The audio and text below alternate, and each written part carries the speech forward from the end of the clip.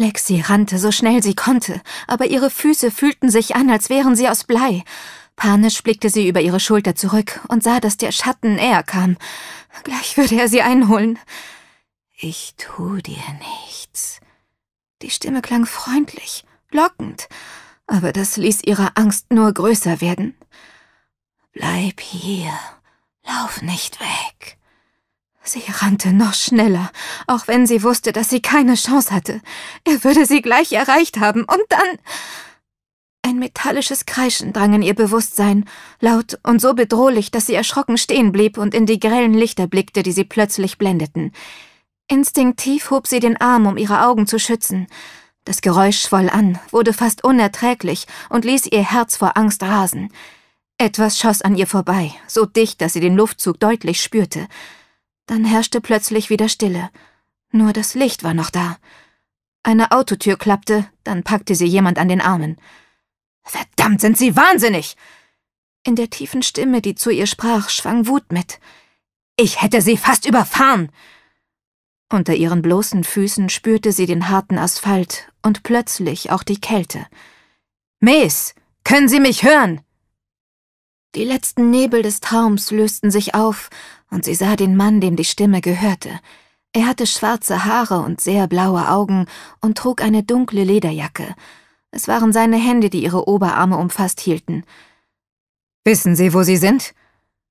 Beklommen blickte Lexi sich um, nahm zum ersten Mal die Umgebung wahr. Sie stand auf einer Straße, irgendwo draußen im Mondlicht in einer ziemlich einsamen Gegend. Hügel hoben sich dunkel vor dem nachtblauen Himmel ab, aber es gab keine Häuser.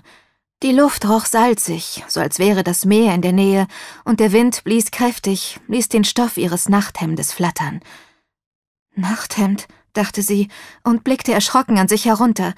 Sie trug nur das, keine Schuhe, keinen Mantel, und dann war da noch das Auto. Ein großer schwarzer BMW.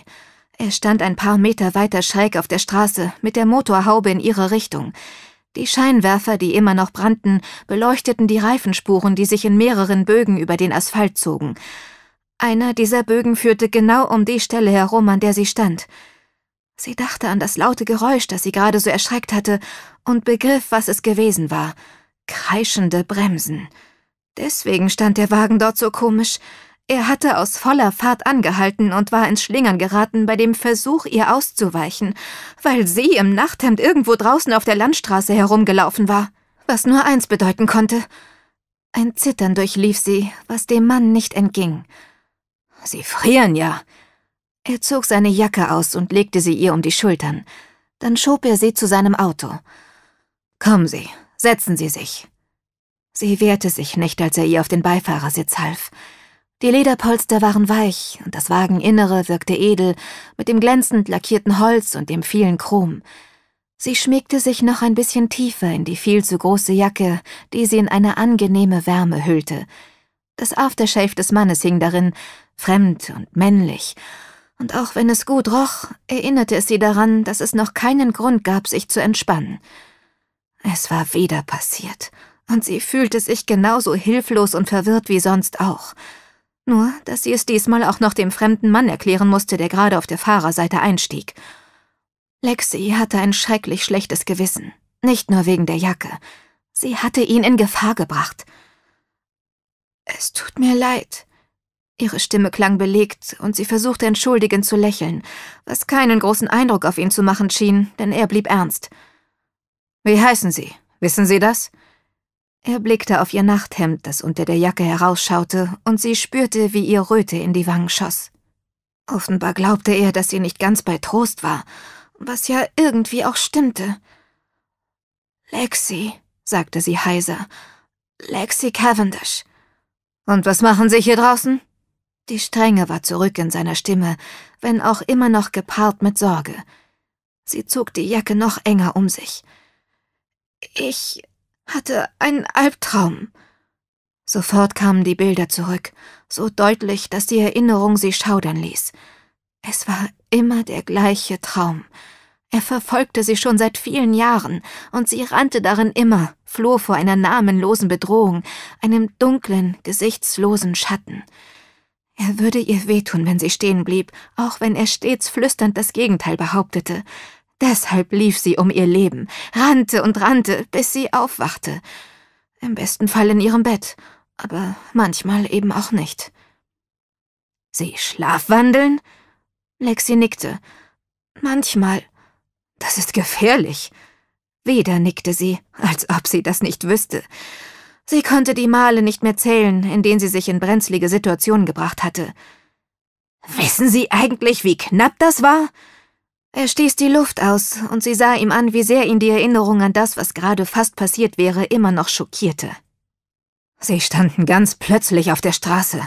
Zum Glück hatte ich das Fernlicht an und konnte sie früh genug sehen. Er schüttelte den Kopf. Das waren wirklich nur Sekundenbruchteile. Wenn ich nicht mehr hätte ausweichen können. Das mochte sie sich genauso wenig ausmalen wie er. Es tut mir leid, wirklich, versicherte sie ihm. Ich kann das nicht kontrollieren. Manchmal gehe ich nur im Raum auf und ab, aber wenn es ganz schlimm kommt, dann laufe ich richtig weit, ohne dass es mir bewusst ist. Der Mann runzelte die Stirn. Gibt es denn niemanden, der dafür sorgen kann, dass Sie sich nicht in Gefahr bringen? Vermutlich zielte die Frage darauf ab, ob sie einen Mann hatte oder überhaupt Familie, Menschen, die sich um sie kümmerten. Doch davon gab es in ihrem Leben nicht viele. Nein, ich bin nicht von hier, außerdem ist es lange nicht mehr vorgekommen. Tatsächlich hatte sie schon geglaubt, dass es vorbei wäre mit dem Schlafwandeln. Die letzten zwei Jahre waren ruhig gewesen. Keine Albträume, keine nächtlichen Wanderungen mehr, was sicher auch damit zusammenhing, dass sie ihren Traumjob gefunden hatte und dass ihre Arbeit sie glücklich machte. Sie war fest entschlossen gewesen, nur noch nach vorn zu blicken, nicht mehr zurück. Und es hatte funktioniert. Bis jetzt. Dass der Schattentraum sie mit einem Mal wieder so heftig verfolgte, musste an dieser Gegend liegen. In Donegal, der nördlichsten Provinz Irlands, war sie noch nie gewesen. Doch seit sie vor ein paar Stunden nach mehrstündiger Fahrt in dem kleinen Städtchen Kerry nahe der Küste angekommen war, ließ sie das Gefühl nicht los, dass sie diesen Ort kannte. Die Häuser mit den meist weiß getünchten Fassaden und die schmalen Straßen wirkten auf eine seltsame Weise vertraut. Nicht wegen der Ähnlichkeit zu anderen Orten, an denen sie schon gewesen war. Diese Vertrautheit ging tiefer.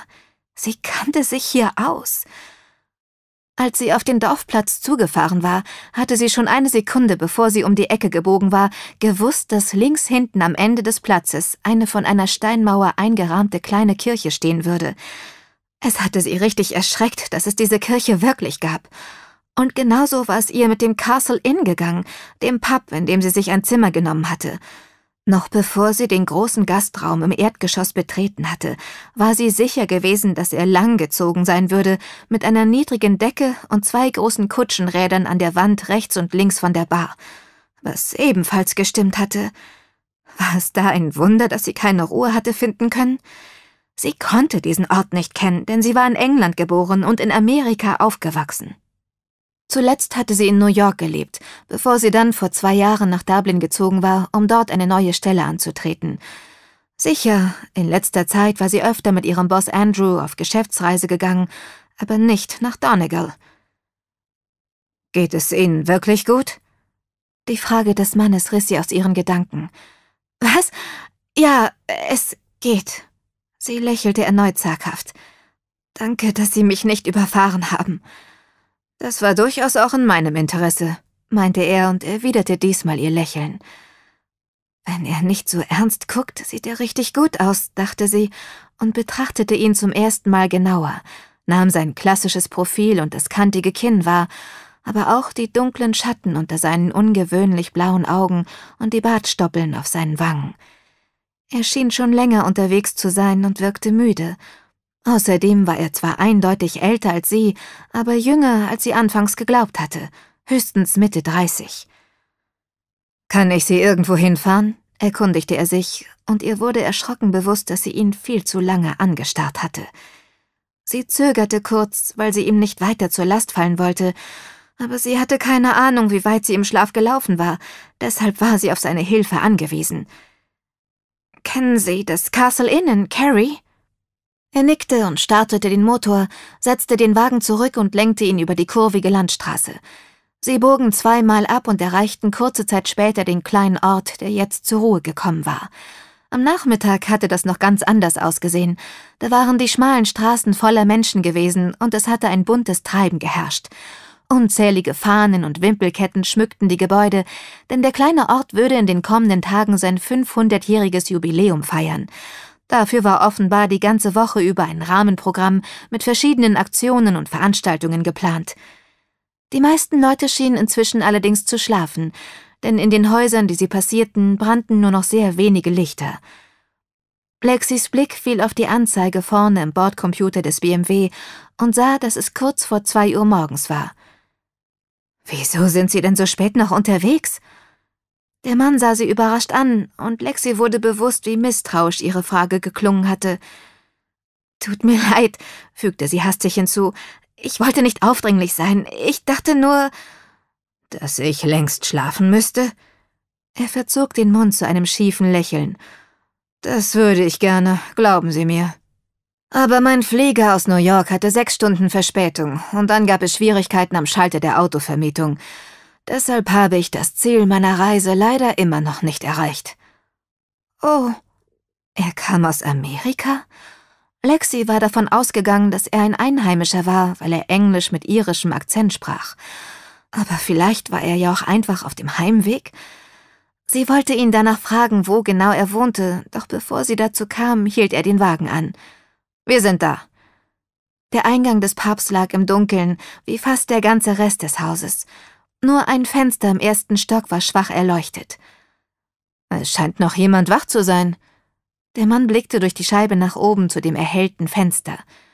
Unglücklich schüttelte Lexi den Kopf. Das da oben ist mein Zimmer, erklärte sie. Wahrscheinlich habe ich die Nachttischlampe angelassen. Das hatte sie nicht nur wahrscheinlich, sondern ganz sicher. Das war nur einer ihrer vielen Spleens, aber da der Mann sie bestimmt schon für merkwürdig genug hielt, erwähnte sie es lieber nicht. Außerdem war ihr gerade eingefallen, dass es ein viel drängenderes Problem gab. Ich habe gar keinen Schlüssel dabei. Sie wusste nicht, wie sie das Haus verlassen hatte, und erst recht nicht, wie sie jetzt wieder hineingelangen sollte. Eine neue Welle der Verzweiflung überkam sie, weil ihr die Situation so schrecklich unangenehm war, nicht nur, dass sie im Nachthemd im Auto eines Fremden saß, dem sie unnötig Umstände machte. Jetzt musste sie auch noch die Wirtin herausklingeln und ihr erklären, wieso sie... Die Tür ist nicht abgeschlossen. Die Bemerkung des Mannes unterbrach ihre düsteren Gedanken. Sind Sie sicher? Er nickte.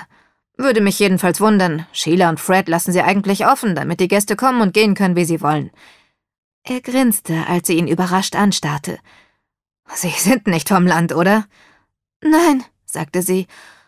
Aber er stammte offenbar tatsächlich aus dieser Gegend, wenn er wusste, dass die Wirtsleute Sheila und Fred hießen. Na los, sehen Sie mal nach, ob ich recht habe. Als sie neben dem Auto stand, spürte sie trotz der Jacke die Kälte des frühen Aprilmorgens. Das Kopfsteinpflaster unter ihren nackten Füßen und die Atemwolke vor ihrem Mund machten ihr schlagartig bewusst, wie geborgen sie sich im Inneren des Wagens gefühlt hatte. Hier draußen schienen die Schatten des Albtraums wieder nach ihr zu greifen, und einen Moment lang fürchtete sie sich davor, allein ins Haus zu gehen. Ich bringe sie lieber noch rein, erklärte der Mann, und Lexi überlegte kurz, ob sie das ablehnen sollte. Aber der Gedanke an den dunklen Gastraum und die Flure im Pub, die sie gleich durchqueren musste, machte ihr immer noch Angst. Danke, sagte sie deshalb und verdrängte den Gedanken, dass er eigentlich schon genug für sie getan hatte. Der Mann lächelte und streckte ihr die Hand entgegen. Gerne. Ich bin Grayson Fitzgerald. Oh mein Gott, dachte Lexi entsetzt und spürte, wie ihr das Blut aus dem Gesicht wich.